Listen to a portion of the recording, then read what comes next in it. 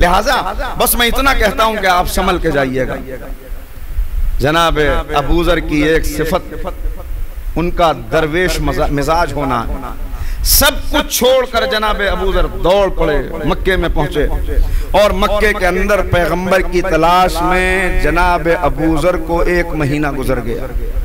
اس ایک مہینے میں کس سے سوال کریں، کس سے پوچھیں؟ اگر کسی سے پوچھتے بھی ہیں تو وہ ایسی نظروں سے دیکھتا ہے کہ ابوذر سمجھ لیتے ہیں کہ کہیں ایسا نہ ہو کہ اس نبی سے ملاقات سے پہلے میں مار دیا جاؤں لہٰذا کئی ورجن ہے روایات کے۔ ایک ورجن یہ ہے کہ ایک مہینہ گزر گیا اور یہ ایک مہینہ غیرت غیرت جناب ابو در کی۔ ایک مہینہ اجنبی شہر کے اندر بغیر کچھ کھائے ہوئے صرف زمزم کا پانی پی پی کر گزار دیا۔ زمزم کے پانی کی یہ خصوصیت بتائی جاتی ہے کہ زمزم کا پانی اگر انسان پیتا رہے تو بھوک کم لگتی ہے۔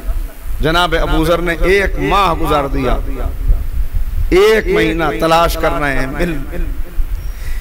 ایک ایک کا چہرہ دیکھتے ہیں جناب ابو ذر، نہ جانے کیا تلاش کر رہے ہیں چہرے میں۔ اب سنیے گا یہاں سے ایک سلوات پڑھنے تو آپ کی خدمت میں آس کرتا ہوں۔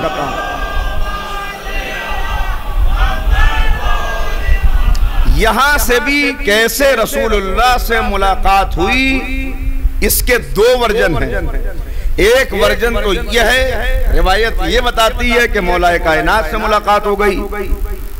اور مولا نے پوچھا اس شہر میں تم اجنبی ہو؟ اس شہر میں کیوں آئے ہو؟ اور انہوں نے کہا کہ نہیں میں ایسی تبدیلی آب و ہوا کے لیے یہاں آیا ہوں۔ پھر دوسرے دن ملاقات ہوئی۔ پھر مولا نے سوال کیا کچھ جاننا چاہتے ہو؟ کیا کہ نہیں، میں ایسے ہی آیا ہوں۔ تین دن گزر گئے، تیسرے دن مولا لے گئے، اپنا مہمان کیا اور اس طرح مولا کے سامنے اپنی خواہش کا اظہار کر کے پہنچے۔ یہ ایک ورجن دوسرا ورجن دوسرا ورجن یہ کہ ابو ذر کسی کے سامنے زبان نہیں کھولتے ہیں، لیکن ہر ایک کا چہرہ دیکھتے ہیں۔ ایک دن خانہ کعبہ کے قریب بیٹھے ہوئے تھے کہ وہاں سے جناب ابو طالب کا گزر ہوا۔ ابوذر نے جناب ابو طالب کا چہرہ دیکھا اور کہا وہ نبی کہاں ہے جو تمہارے خاندان میں آیا ہے؟ وہ نبی کہاں ہے؟ جناب ابو طالب نے دیکھا کہا تمہیں کیا مطلب؟ کہا میں اس نبی کی تصدیق کرنے کے لیے آیا ہوں۔ جناب ابو طالب نے ابو ذر کو اپنے ساتھ لیا اور لے کے ایک مکان میں آئے۔ ابو ذر کا خود کا بیان ہے۔ کہ اس مکان میں جب میں پہنچا تو وہاں میں نے ایک شیر جیسے بہادر کو دیکھا، ایک شجاع کو دیکھا۔ اور جب میں اس تک پہنچ گیا تو اس نے سوال کیا، کیسے آنا ہوا؟ کہا کہ وہ نبی کہاں ہے جو تمہارے خاندان میں آیا ہے؟ کہا، تم سے کیا مطلب؟ کہ میں اس نبی کی تصدیق کے لیے آیا ہوں۔ کہا، کیا واقعی تصدیق کرنا چاہتے ہو؟ کہا ہاں مگر آپ کون ہیں؟ اپنا تعارف تو کرائیے۔ کہا، مجھے حمزہ ابن عبد المطلب کہتے ہیں۔ ابو طالب سے حمزہ تک پہنچے۔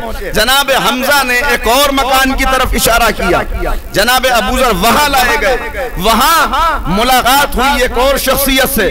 کہا، میں رسول سے ملنے کے لیے آیا ہوں۔ انہوں نے کچھ سوالات کیے۔ انہوں نے کہا، اپنا نام تو بتا دیجیے۔ کہا، مجھے جعفر ابن ابو طالب کہتے ہیں۔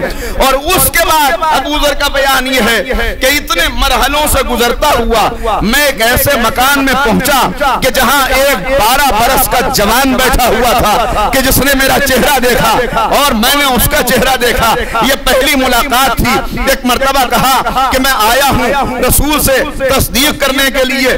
مگر مجھے یہ بتائیے کہ یہ اتنے پہرے کیوں ہیں؟ یہ اتنے لوگوں سے گزرتا ہوا کیوں آیا؟ کہ ابھی اتنا کہا تھا کہ اس نوجوان نے کہا، اے ابو ذر، کیا تجھے بھیڑیے نے بتایا نہیں تھا کہ کفار دشمن ہو گئے ہیں؟ صلوات پڑھتے محمد و آل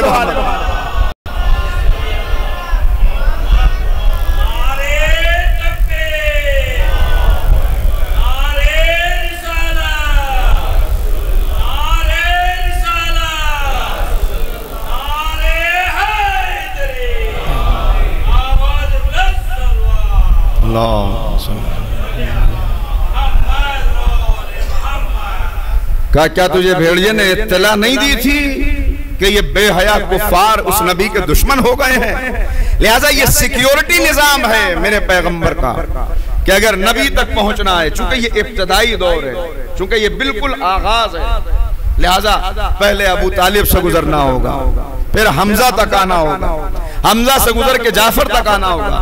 جعفر سے گزر کے شیر خدا تک آنا ہوگا۔ اور شیر خدا تک پہنچنے کے بعد رسول سے ملاقات ہوگی۔ پیغمبر سے ملاقات ہوئی۔ اور ابو ذر کہتے ہیں کہ چہرہ دیکھتے ہی میں پہچان گیا کہ یہی وہ رسول ہے۔ میں نے تصدیق کی، کلمہ پڑھا اور اس کے بعد کہا کہ اے رسول خدا، مجھے اجازت دیجیے کہ میں ان تمام کفار کو دعوت اسلام دوں۔ پیغمبر جانتے ہیں کہ یہ تبلیغ کی صلاحیت ابوذر کے اندر موجود ہے۔ لہٰذا کہا ابو ذر، یہاں نہیں، تمہارے ماموں کا انتقال ہو چکا ہے۔ ساری پروپرٹی کے تنہا وارث تم ہو۔ تمہاری میراث انتظار کر رہی ہے، یہاں سے جاؤ۔ اے ابوذر پہلے اپنے قبیلے کو دعوت اسلام دو۔ اس کے بعد دوسرے قبیلوں کو دعوت اسلام دو۔ یہاں تک کہ میں کھجوروں والے شہر میں پہنچ جاؤں اور وہاں میری تم سے ملاقات ہو